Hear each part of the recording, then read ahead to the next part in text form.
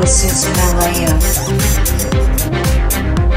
Let me be your Uh, well, I'm from Australia, but I've lived in Asia for probably 10 years. Mhm. I was living, before I was living in Thailand, in Phuket, and I'm a sailor. I had a sailing business and sailing all around Asia. And it's a very male dominated industry.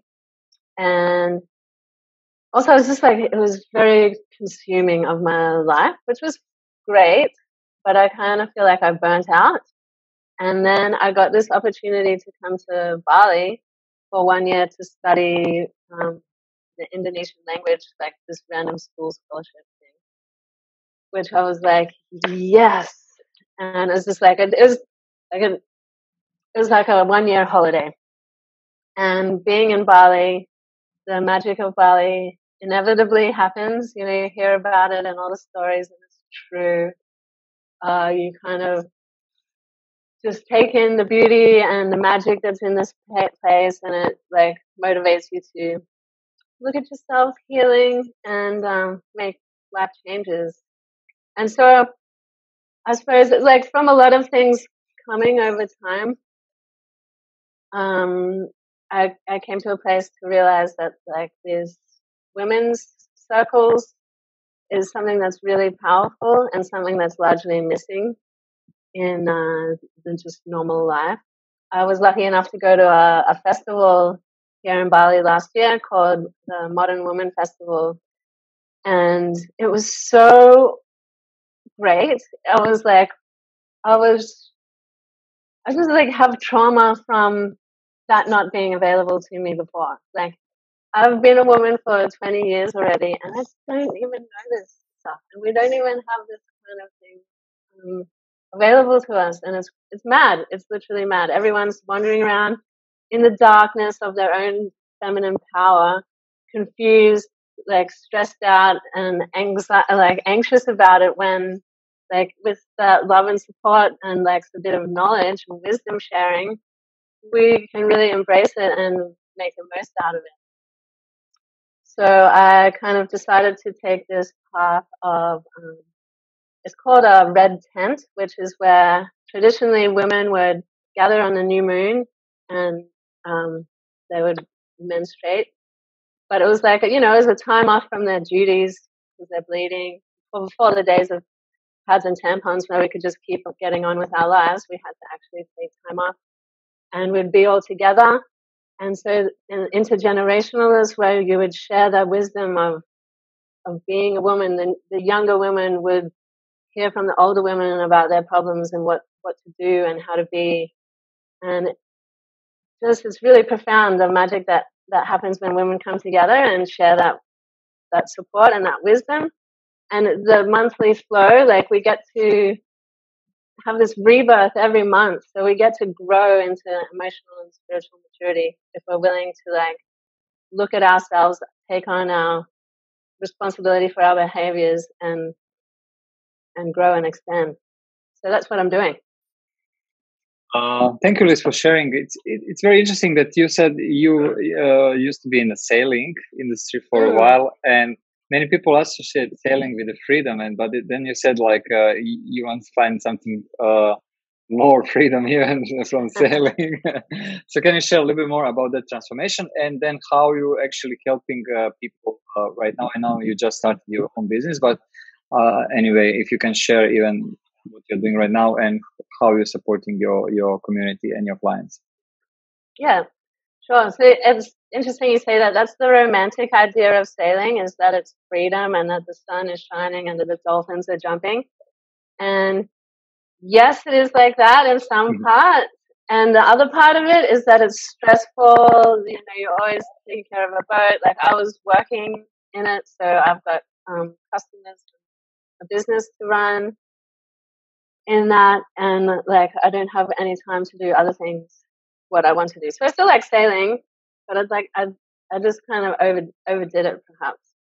Mhm. Um, but yeah, no, I do really appreciate that um, that feeling of freedom, the being within nature, and and so that's that's something that's similar in this red tent because you you uh, notice the cycles of like the moon and the seasons and kind of just instead of going every day no matter what like when you tune into the nature it really you don't have to fight against the like nature's energy you go with it which is just easier you know? Yeah.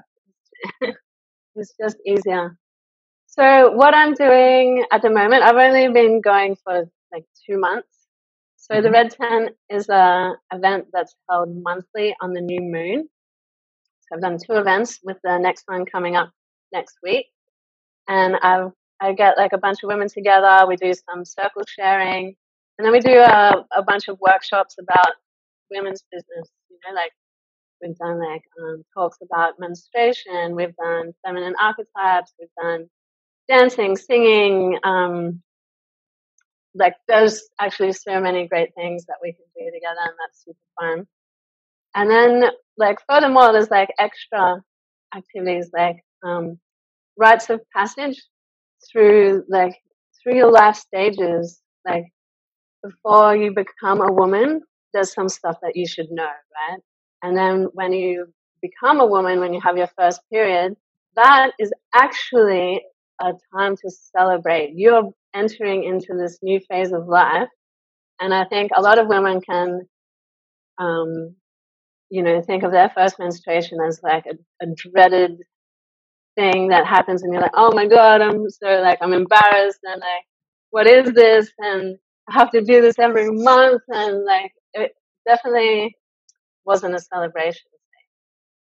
Um, so to start to celebrate that, and then the other life phases like um, uh, like a partnership or the separation of a partnership or pregnancy and entering into motherhood um, before your menopause and then like after you bleed, like the the menopausal ages, and then preparing for death as well. So there's all these life stages that with like ritual and initiations and support that can be like flowed into and not feared hmm as well.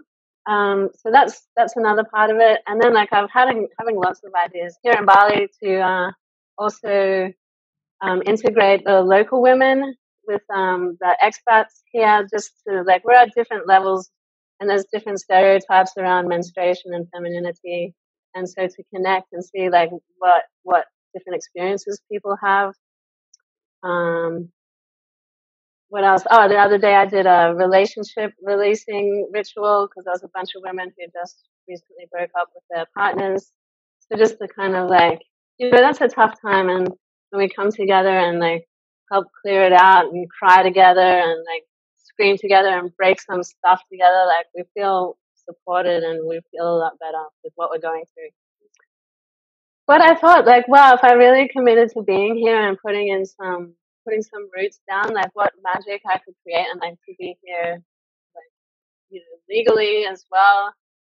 I could really connect into the community and make a, a beautiful, like, um, red tent space. Like this, like this work that I do is community based. So, so when you have like that consistency and, you know, in, in, in the place, you really can connect. And I like envision like this, uh, this red tent space with all red fabrics and cushions and people coming in and out and lots of workshops being able to be there and great space for sharing and, um, you know, so many friends and wonderful things to do. So it's really exciting to think about, um, yeah, that commitment and what can be created out of going for an awesome villa. Like, oh, look at that.